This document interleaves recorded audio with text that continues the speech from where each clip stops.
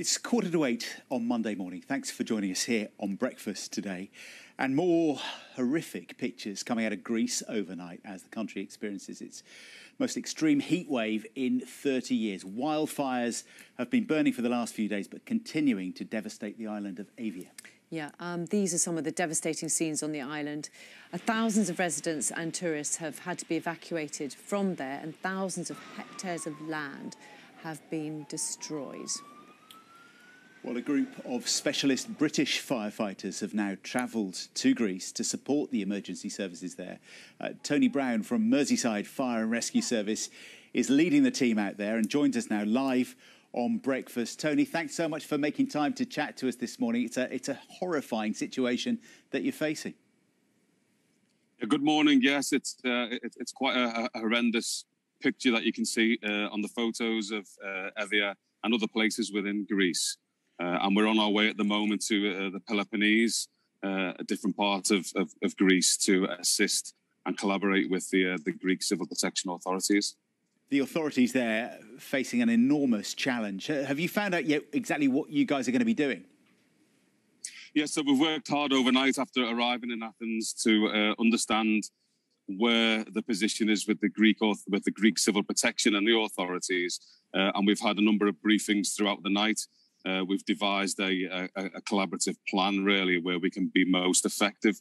And as I said, we're on our way uh, to the Peloponnese area um, uh, and, and two particular places, and then we're going to assess the area, and then we're going to assist in their mechanism and their system to uh, to to to help fight the fires. So, so what's the British contribution? How, how many of you are there, and uh, have you taken kit as well, or is it is it just bodies?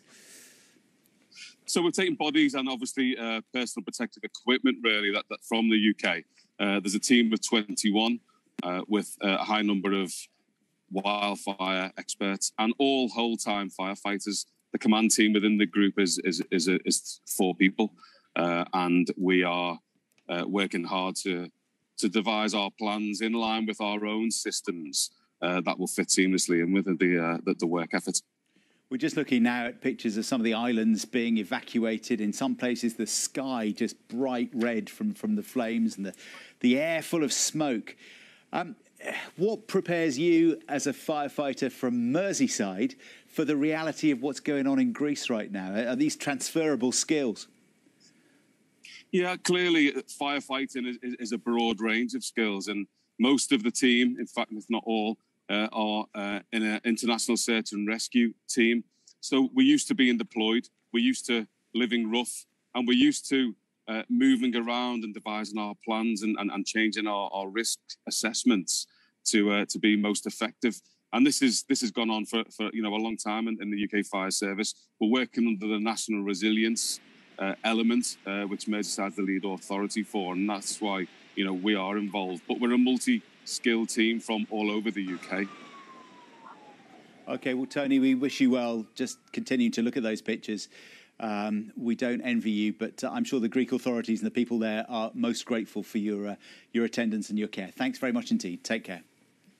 Thank you.